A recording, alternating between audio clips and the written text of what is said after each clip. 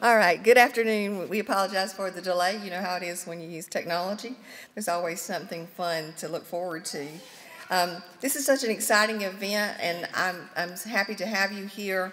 I'm Dr. Gina McAllister. I'm the Dean of the School of Education here at Chipola, and it's an honor for me to welcome you to the, to, to the 2023 Fall Pinning Ceremony. Um, we know that each person that is here today has played a very important role in the success of these graduates completing their goals. And this is such a wonderful milestone for them, and we thank you uh, for everything that you've done. So let's begin today's ceremony by offering a token of our gratitude. Let's first offer a round of applause to the friends and the family that have supported our graduates through this journey.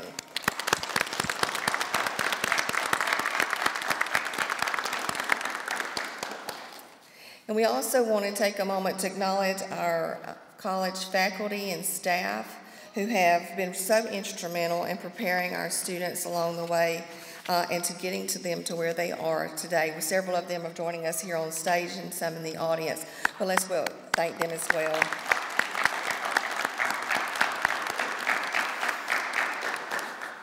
Graduates, we're so proud of you. Um, you have worked so hard and have persevered really through a lot of things to achieve this goal. Um, determination, flexibility, and strength, those are all skills that you developed along this pathway uh, to become an educator. And these skills are going to serve you well in your new journey as a teacher as you begin and, and as you start to excel in making a difference in the lives of so many students and young people and what their futures are going to look like. Um, we feel blessed that you have chosen Chipola College as a place to pursue your education, and we're just really honored to have had the opportunity to play a small role in helping you achieve your goals.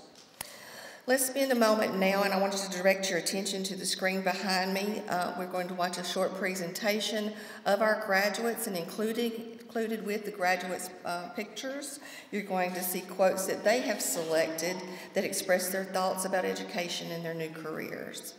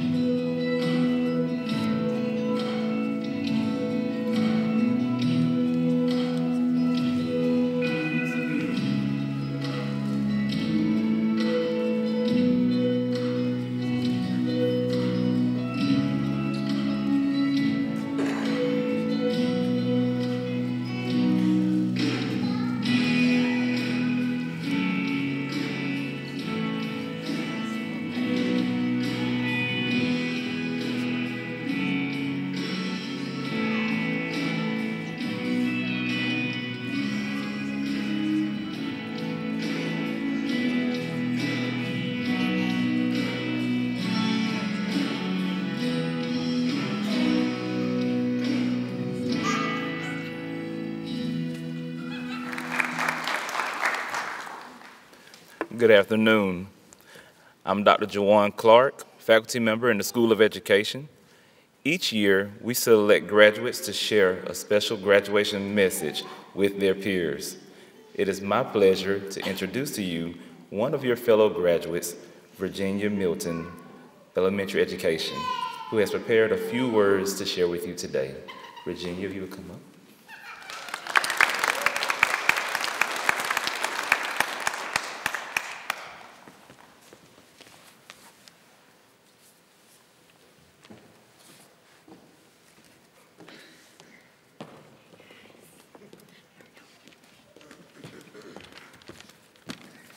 Wow, it's bright up here.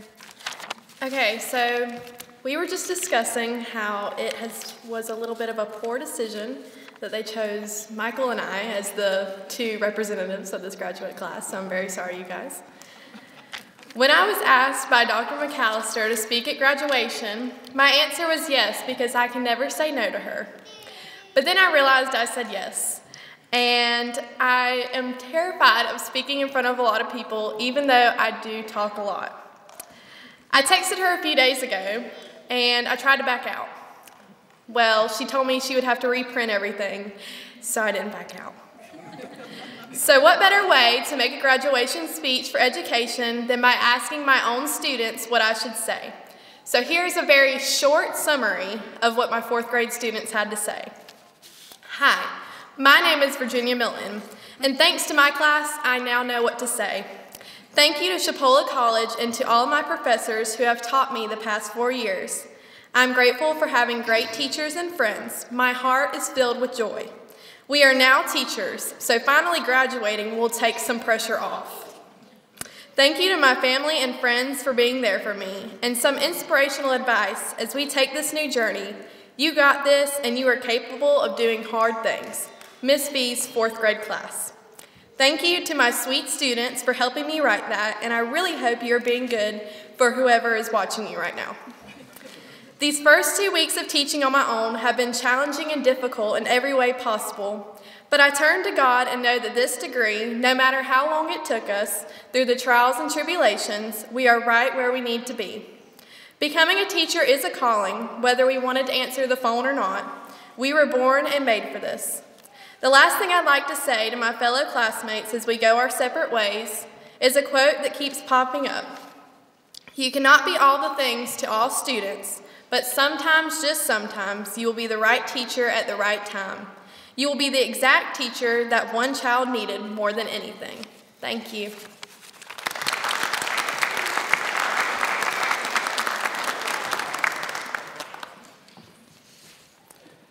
It is also my pleasure to introduce another one of your fellow graduates, Michael Weeks, Elementary Education, as he comes forward to share a few encouraging words.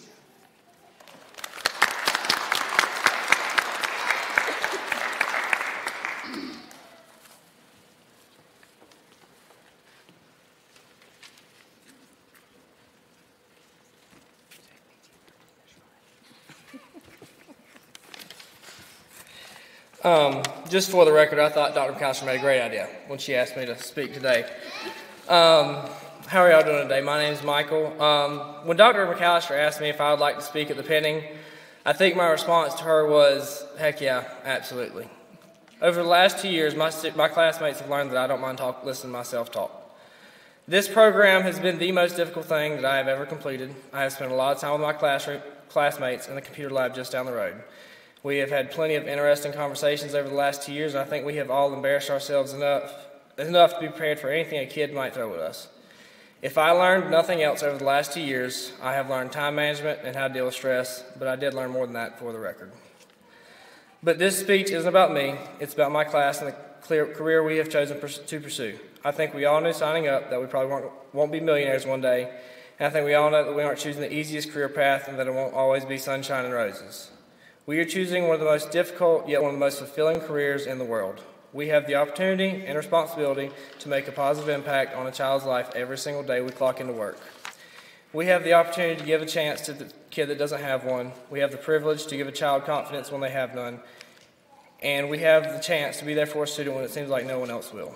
We are going to face many challenges in an ever changing school system and world, bad behaviors, standards, and criteria that seem to change every other year. Parents don't care. The list could go on. But with those challenges comes the opportunity to change the world for the better. It will not only be our job to teach students how to read, write, multiply, divide, but to show them how to be kind and treat others the way they would like to be treated. Show them how to hold a door for others or to help their classmate when they spill their lunch tray. Having the chance to positively affect a child will outweigh any challenge we might face. During the rough days and sometimes weeks that will wear us down, we need to remember our why. Why do we want to become a teacher? God has blessed each and every one of us with the skills and passion to pursue this career, and I believe that we are all right where we are supposed to be and called to do this job. My new boss, Ms. Jessica Larkin, said something at the beginning of the school year that has stuck with me. We have the most important job in the world. If it were not for us, there would be no other jobs. We teach the scientists, the engineers, the firemen, the doctors, the policemen, the lawyers, and everything else. To me, that is a privilege that we should appreciate and not take for granted.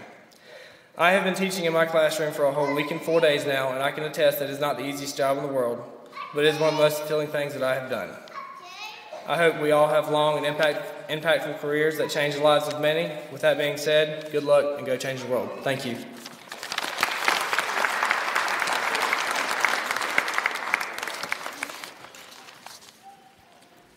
Good afternoon. I'm Casey Dogle, School of Education faculty member. We are so privileged to have Miss Adriana Swearingen, the 2024 Florida Teacher of the Year, as our guest speaker today.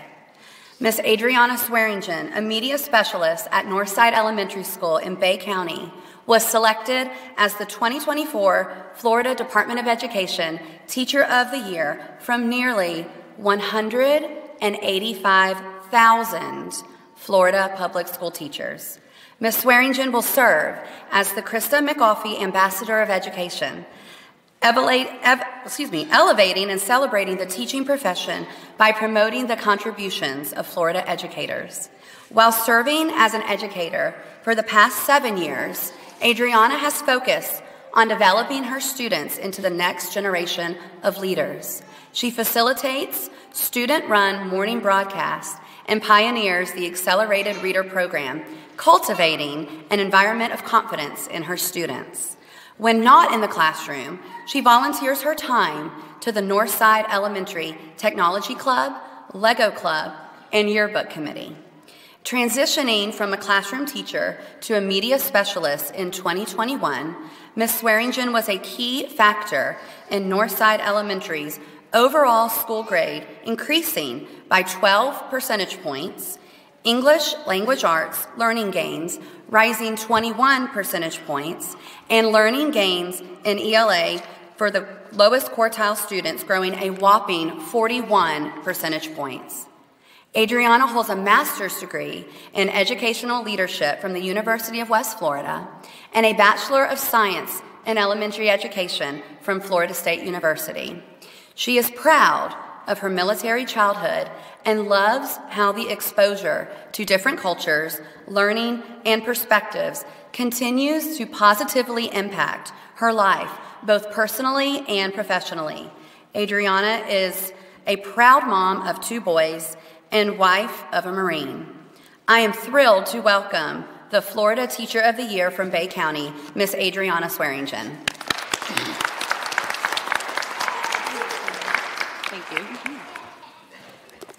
Hello, everyone. Good afternoon. My name is Adriana Swearingen, and I am the 2024 Florida Teacher of the Year. It is an absolute honor to be with the graduates today. Thank you, Dr. McAllister, for inviting me, and Chipola College. As the 2024 Florida Teacher of the Year, I have the privilege of serving as the Christa McAuliffe Ambassador for Education to honor excellence in teaching and highlight the importance of our profession. As Florida's Teacher of the Year, I am proud to represent all of the amazing teachers across the state of Florida who dedicate their lives, standing as beacons of light within their schools, communities, lighting the way for students, colleagues, and families. Lighthouse serves as guides for sailors. They warn of impending dangers and offer reassurance. When bad weather strikes or seas become stormy, they stand strong to guide the way. And if you were to visit my school, Northside Elementary, you would see that our media center is perfectly placed directly in the center of our school building, serving as the epicenter for learning, but also as a place for gathering and community. Our media center serves as our school's lighthouse, providing books and knowledge to guide the way. Books have this beautiful ability to bring hope, foster resiliency, and ignite curiosity for those who are willing to open their pages. Words are powerful. Stories are powerful.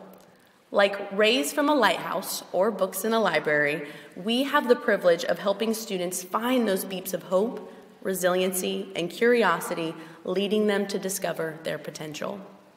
In fact, because of the unyielding light and steadfast dedication of Florida educators, we have already accomplished some amazing things across our state.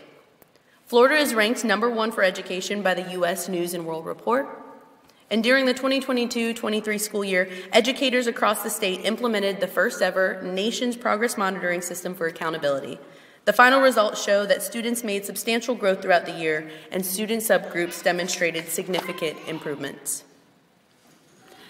I know in my own life I have had many wonderful people stand as lighthouses along the way to shine me along mine. One steady beacon has always been my mom. She represents a steady guide in my life, the one who has continuously brought me back to that hope, resiliency, and curiosity that I sought at different turning points in my life. My mom has always had this incredible drive and sense of determination, and because of her, I have felt safe and hopeful. She believed in my dreams, giving me the courage to pursue my own journey. And while my mom brought all the dependability to our family, my dad's service in the Air Force brought all of the adventure. It was each new duty station that offered these unique opportunities of being immersed in diverse cultures and gaining fresh perspectives into how others lived and learned in their lives. Yet, as life often plays out, along with these wonderful adventures also comes its hardships. In time, however, I grew accustomed to celebrating our family's special occasions with our neighbors and our fellow military families. We quickly became each other's family. As I look back now as an adult, I can clearly see that each of these amazing people fostered that sense of hope, resiliency, and curiosity throughout different points in my life, but each did so in their own unique way. So, hope.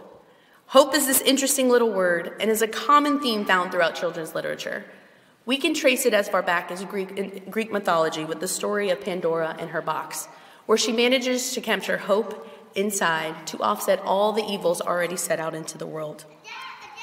And today we often use this little word, hope, without giving it much thought, yet not fully understanding its potential.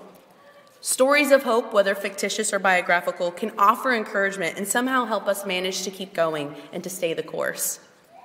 Now, let me share a story with you of another woman, not nearly as famous as Pandora, but who stood just as mightily as a beacon of hope in my own life. Her name is Mrs. Robin Mills, and in 2014, I served in her fourth grade classroom as a paraprofessional for a very short time. What first struck me was her unwavering passion for teaching. She was a pillar to her students, past, present, and even future. And she told me about a pen pal project that she had started years past with a private contractor in the Army named Nate Renew, who was stationed in Afghanistan. The letters first started out being addressed to the entire class, but quickly developed into adopting many pen pals, as he personally wrote each and every student in that class. And while Nate and his bomb sniffing dogs were in Afghanistan, the letters became his connection to home. However, five months later, she received gut wrenching news. Nate had lost his life. Because her and her students had been a constant source of encouragement to him, she was personally invited to attend his funeral and was celebrated as the guest of honor. She described to me how his friends and family thanked her for being the beacon of hope in his life and in the lives of the soldiers stationed alongside him. You see, as he received each and one of those letters from those students, he would share them with his comrades and his family members. And as a result, multiple soldiers became personally invested in the students' lives, giving them hope for the future to hold on while they were away from home. Miss Mills became a beacon to many, and her impact resonated through the threads of Nate's life, the soldiers' lives, and to the lives of those students. She taught me how to be a beacon of hope by creating these opportunities for students to connect their learning and to, from their own lives, allowing people to see the positive impact that they can have around them. And since that first year as a paraprofessional, I have seen teachers infuse a similar kind of hope into their students' lives and kindle a fire of change over and over again. And it was because of this experience I decided to join the ranks of these noble educators, but more on that adventure a little later. In A.A. Milne's beloved story of Winnie the Pooh, there is a particularly tender moment when a young boy named Christopher Robin encourages his friend Pooh Bear by reminding him, You are braver than you believe, stronger than you seem, and smarter than you think.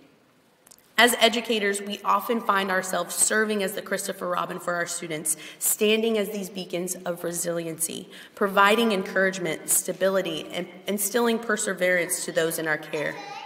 Much like when Tigger and Piglet learn from these exciting adventures and challenges, we too foster resiliency in our students by encouraging them to grow, to overcome, and explore and learn. Now, let me share with you a more personal story that shines the light on the need of resiliency in our learning spaces and how standing as a beacon of resiliency can make all the difference. I remember being a fired up third year kindergarten teacher ready to make a difference. My co teachers and I were on a mission to change the game in kindergarten with innovative teaching methods and departmentalizing the subjects together as a team. However, on October 10th, 2018, Hurricane Michael hit our commu- community, leaving everything in chaos and uncertainty. I'm sure that many, if not most of you sitting here today, can remember a time when the devastating effects of a major storm or hurricane has directly impacted your lives, the lives of the people around you, when you live through something as traumatic as a natural disaster, no matter your age, you never really forget it. Weeks later, Highland Park Elementary School was still reeling from the aftermath of the storm and was not quite ready to open its doors. It was well over a month before we finally did reopen. But during that time of transition, one thing was certain. My teaching partner and I wanted to remain focused on creating an environment that instilled resiliency for our little ones before academics could thrive. We had to stand strong as these beacons of resiliency and consistency through all of the instability now more than ever for our students, our family, and especially our community. During this challenging year, one of my students in particular, Jamie, was searching for light. She was naturally a shy filled girl, but it was only amplified post hurricane. I knew that I wanted to be the stronghold of resiliency for Jamie. On one of our first day back, the contractors began working on their roof, However, we were not informed of this ahead of time, so you can imagine our surprise when the banging and the thrashing started out of nowhere. Chaos immediately ensued, and you had little crying faces in every corner of my classroom. We had to work really hard to ground ourselves and talk out exactly what was happening around us that we were resilient, that we have weathered this storm, and we will get through this together. This whole experience affected little Jamie far more than the others. It wasn't easy for her, but throughout the year, whenever Jamie would get scared, we would repeat together I am strong, I'm brave, I'm resilient, I got this. And with time and consistency, I began to see change, and then see more change. Slowly but surely, once J- Jamie realized that she could face these challenges with resiliency, her scores shot up significantly. And I think this is a true power to the testament of resiliency, that providing this environment where students can face these challenges head on. Jamie continued to soar both academically and emotionally for the remainder of that school year, and all she needed was a little light to guide her, encourage, and foster resiliency for her to thrive. Some of my favorite teaching moments have been found in those unexpected twists and turns in my lesson, sparked by curiosity. In the classic novel by C.S. Lewis, The Lion, the Witch, and the Wardrobe, the power of curiosity is beautifully illustrated as the story follows four siblings Peter, Susan, Edmund, and Lucy, who are evacuated during World War II to live in the countryside with an old professor. And while exploring the professor's large, mysterious house, Lucy stumbles upon something. This must be a simply enormous wardrobe, thought Lucy, going still further in and pushing the folds of the coats aside to make room for her. Then she noticed that there was something crunching under her feet. I wonder, is that more mothballs? she thought, stooping down to feel it with her hands. But instead of feeling the hard, smooth wood of the floor of the wardrobe, she felt something soft and powdery and extremely cold. Just as Lucy's curiosity opened this portal into a magical realm, curiosity serves as a beacon in education today, shining the way to knowledge, understanding, and insight. This tale reminds us that learning is not only confined to textbooks, learning first begins with curiosity, where questions lead to exploration, exploration leads to knowledge. From the wardrobes to our classrooms, learning is often the direct result of cultivating that curiosity in our learning spaces. What would have happened if Lucy had stopped investigating the wardrobe and stopped moving forward? The land of Narnia would have never been discovered, and Lucy's adventure, growth, and discovery would look entirely different, changing the story completely. So I encourage each of us to be those bright beacons of curiosity in our schools and for our students. To the future engineers sitting in your class, guide them to keep asking questions about how machines work. And to the future carpenter, ask them to find out why today's geometry lesson will help them build a more sturdier chair. Curiosity fuels learning regardless the direction your students may take them. So how have these three beacons, hope, resiliency, and curiosity, worked in my life story to help me discover my potential and lead me to be an educator? Well, I have always felt this calling to be a lighthouse. I had these grand plans for my future. First, I was going to graduate from the medical field, apply to become an officer in the Air Force, and soar the skies as a pilot. After all, the core values of the Air Force have been instilled in my heart and mind from a very early age integrity first, service before self, and excellence in all we do. Over the years, I had always thought about teaching as it seemed to be in my heart, but I questioned it. No one in my family was a teacher, and it wasn't a profession that my advisors, mentors, or even friends mentioned as an option.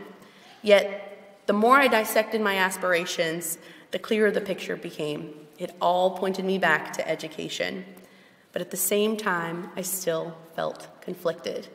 I wrongly believed that a military career was what was expected of me by my family. A teacher, I thought.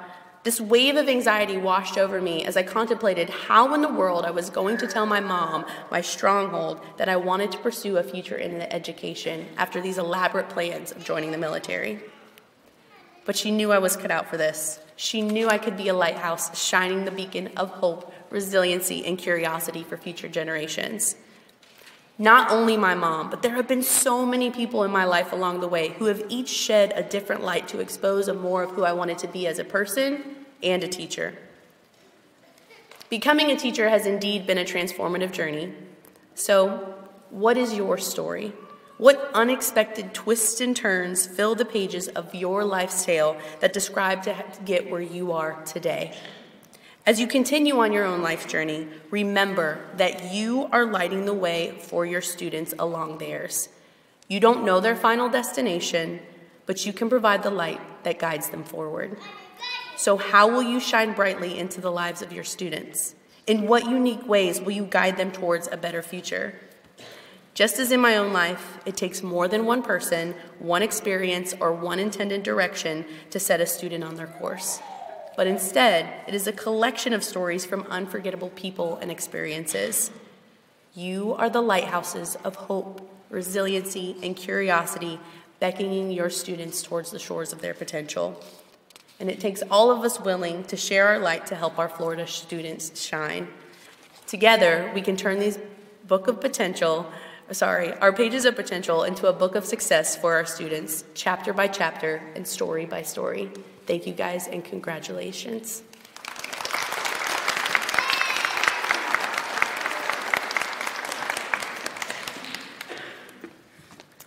Thank you so much, Ms. Swearingen, for those encouraging words. Those were words I think we all needed to hear today.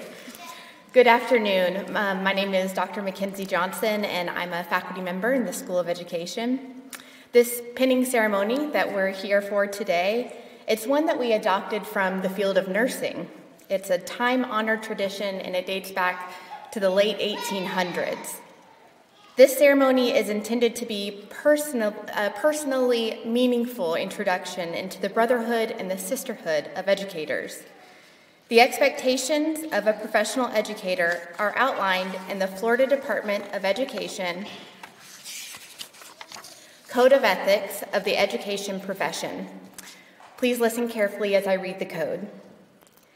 The educator values the worth and dignity of every person, the pursuit of truth, devotion to excellence, acquisition of knowledge, and the nature of a democratic citizenship. Essential to the achievement of these standards are the freedom to learn and to teach, and the guarantee of equal opportunity for all. The educator's primary professional concern will always be for the student and for the development of the student's potential. The educator will therefore strive for professional growth and will seek to exercise the best professional judgment and integrity. Aware of the importance of maintaining the respect and the confidence of one's colleagues, of students, of parents, and of other members of the community, the educator strives to achieve and sustain the highest degree of ethical conduct. The pen that you will be receiving today is a symbol of your commitment to the education profession and upholding the expectations within this code of ethics. Congratulations on your decision to become a professional educator.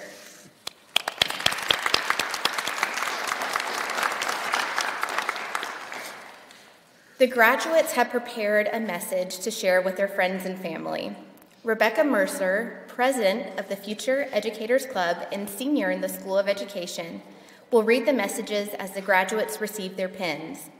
As your name is called, please proceed to the stage.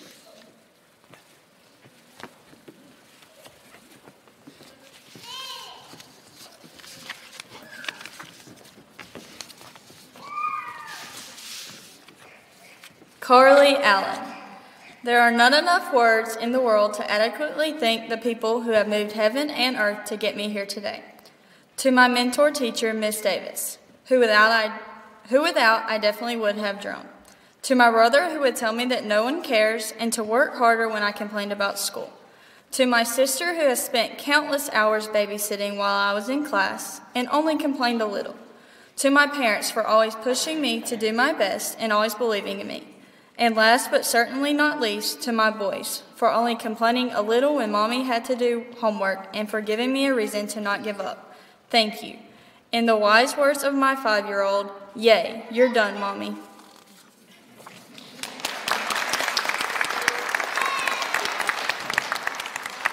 Brianna Brock. First and foremost, I want to thank God for blessing me with the opportunity to attend Chipola College. Without His love and provision in my life, I wouldn't be standing here today. I also want to thank my husband, Alex. He has selflessly supported me through every step of my educational journey. He has proofread essays, listened to all my wild practical experiences, and giving me a shoulder to lean on when the stress caught up to me. His unending support has driven me to be the best version of myself. Last but certainly not least, I want to thank my family. They have been with me from the very beginning of this journey. They've seen me every up and down, and every time I thought I wanted to quit. They have offered endless amount of love and patience. They helped me to shape me into the educator and person I am today. With the endless amount of support I've received, I stand here today confident and optimistic about what the future holds.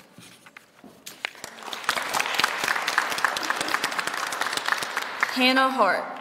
I would like to start out by thanking my Lord and Savior for never giving up on me. To my parents and fiance, I am so thankful for your continuous support and unconditional love.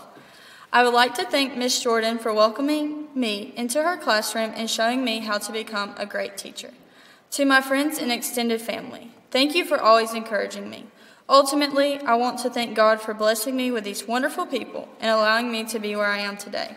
I am so thankful for this journey, but even more thankful that it is over.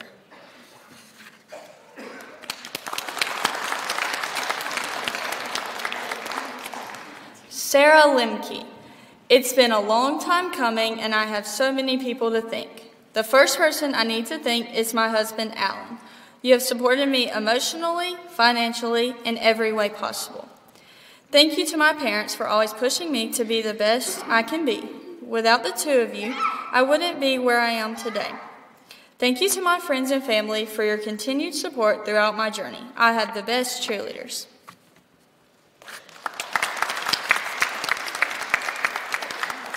Virginia Milton. Sorry. I have enjoyed every moment that I've had at Chipola College. I give all the glory to God for directing me on His path and being by my side every step of the way. Thank you to my mom and dad for continuously supporting me. I would have never made it through elementary school if y'all didn't fight demons to get me dressed in the mornings. Thank you to Jacob and his family for being there for me through it all. Thank you to my professors for always believing in me and pushing me to do my best. Thank you to my mentor teacher for just being you. I would not be able to complete this journey without you. Thank you to my grandparents for all the advice you have given me. Finally, thank you to my previous teachers who inspired me to grow up to be just like them.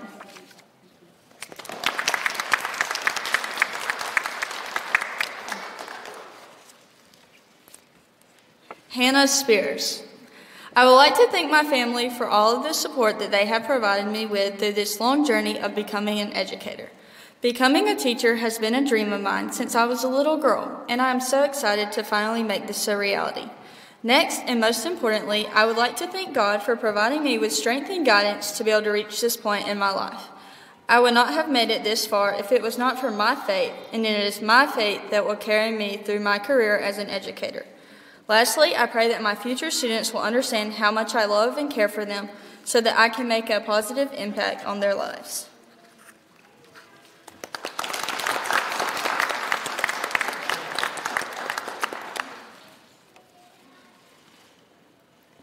Michael Weeks. My mom recently told me that she did not think I would complete this program. I think I thought that half the time. This program has been the most challenging thing I have ever completed, but it has taught me how to be responsible for myself and how to have time management. Miss Dogle, your classes caused me more stress than anything I have ever experienced, but I appreciate you seeing the change in me and acknowledging it. Dr. Clark, thank you for always being the happy, bright, and positive energy in the room. Dr. Johnson, thank you for always greeting me with a smile. Dr. McAllister, thank you for answering the thousands of questions I've had for you over these years. I hope the meals I brought you made up for it. Miss Perkins, I cannot express how blessed I was to have you as my mentor teacher. I had the best time being in your classroom. To my classmates, I could have not done this without your support and laughs. To my family, thank you for supporting me and encouraging me through this experience. To Paxton, thank you for uplifting me, encouraging me, and being my rock. With that being said, I am very glad to be done. Y'all won't ever have another one like me.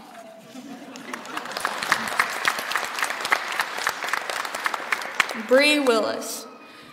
First and foremost, I want to say with God, all things are possible. Throughout this journey, I've had the best support system. To my fiance, thank you for your continued support throughout this journey.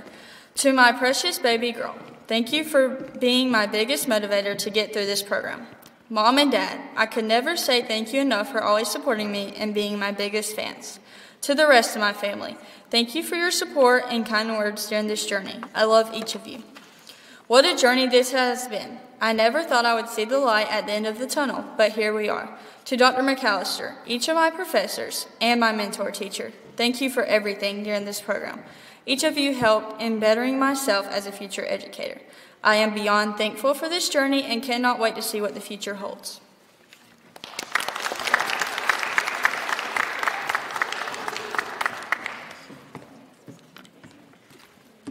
Colin Strickland. Without these people, this could have never happened. I want to thank all of my instructors throughout my time at Chipola College. I want to thank my jazz family, especially Mr. Suggs, Mr. Justice, Miss Davis, and Miss Yates. To my friends, Skylar Davis, Carly Allen, and Zoe Birch, thank you so much. Lastly, I need to give a special thanks to my mother and my brother, Wendy and Austin Strickland. Thank you to everyone on this list, and I deeply appreciate you. Dr. McAllister deserves a special shout out. You have given me an incredible amount of patience, respect, and care when I did not always deserve it. I am eternally grateful for all that you have done.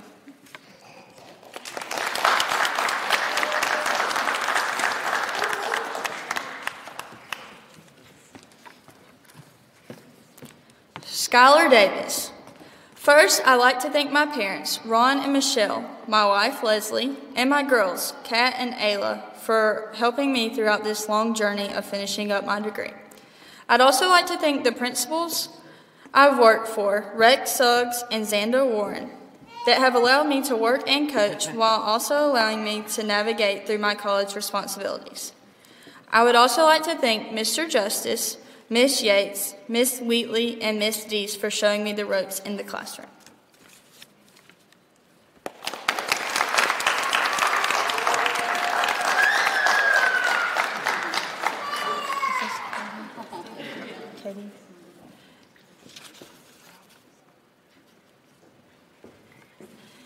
Katie Forrester.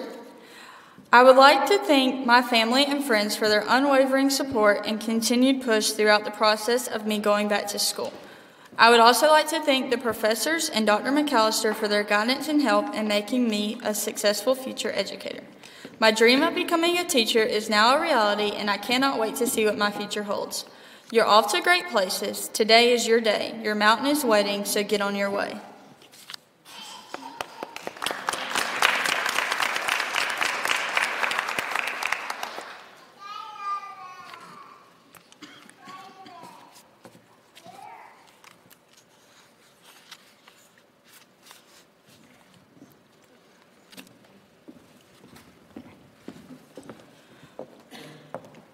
Yuritsa Figueroa. First, I want to thank God for helping me get in this program. Without Him, I would not have found a love and passion for teaching. I never thought I would be a teacher, but I am thankful for the plan that God has in store for me. Next, I want to thank my parents for being there to support me. Thank you to my mom for pushing me to start working as a substitute teacher. Without her, I would not have gotten to where I am now. Thank you to my brother Andy for allowing me to use his vehicle. Without him, I would not be able to finish my internship. Thank you to Mr. Zayas for being there to help and support. What started as an observation in his class before starting the program, to finish the program as his intern. You've been the best support any intern can have. Thank you to Hannah Wilkes for leading me to start this program. Being full time with you as a substitute allowed me to have a passion to be a teacher. Thank you to everyone else who has helped me get to this point, and I hope to be an educator that can inspire the future generations.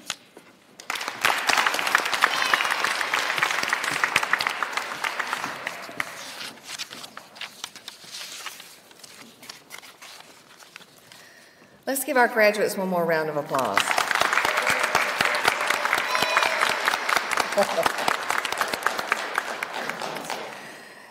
We are so proud to, to congratulate each one of you on um, this major accomplishment. Uh, we look forward to seeing all the wonderful things that you're going to be doing and hearing about all the impact that you've made on the, all of the students that you're going to come in contact with every day. Um, welcome to the beginning of a, an amazing career. We're very proud to call you colleagues.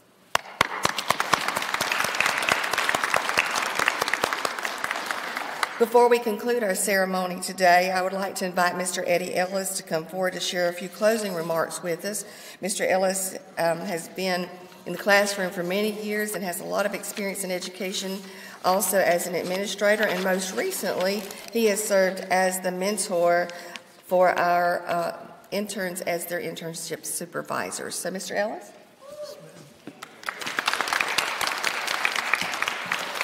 You know, two of the most difficult places to be placed is right before dinner to speak and right at the end. You know, those are the two most difficult places to be placed. However, to the parents, grandparents, aunts, uncles, cousins, all of you who've had a hand in pouring into the lives of these young people that are sitting in front of us who are graduating in the field of education, uh, we say thank you because without you, uh, without your guidance, they could not be who they are today. To the graduates, welcome to the real world. Welcome to the world of unruly students. Welcome to the role of uh, to the uh, area of unreal parent conferences. Welcome to the role of bus duty, car riding duty, weekends of lesson plans, just a whole plethora of things. But guess what? It's worth it. And that's what it's all about. I hear people all the time say that they chose a career. Um, they chose to do this, they chose to do that. Uh, to me, teaching, you don't choose it. It's a calling. It's something that was placed in your heart to do because you wanted to make a difference in the lives of young people. And that's what it's all about. On your worst day, always, always remember it's always about the children. It's always about the students. Even when you don't feel well, you have to give them your best because it's about them. Even that day that you got up and went to work and you didn't want to go, it's all about them. You are in a position to shape the lives of young people, which in turn will shape the world as we live in it today. One of the most difficult things about teaching is that you're simply planting a seed in whatever grade that you're in. And you won't see that seed grow until it matures. They don't plant corn today and it stalks up tomorrow. But when the students come back to you years later and say thank you, then you will know that you have done the right thing and your calling. That's what you're supposed to do, and that's teach. So I leave you with this briefly, real simple, that I learned back in the first grade. Real simple. Bite off more than you can chew, and chew it. Plan more than you can do, and do it. Hit your wagon to a star, and keep your seat, and there you are. Thank you.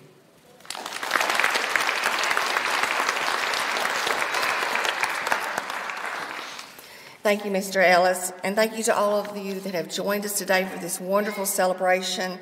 We are so again proud. I know I've said it many times, we're very proud of our graduates and we're proud of what they're going to accomplish. This concludes our ceremony. Um, I hope that you guys have some wonderful things planned for the rest of your afternoon to continue the celebration. Thank you for coming.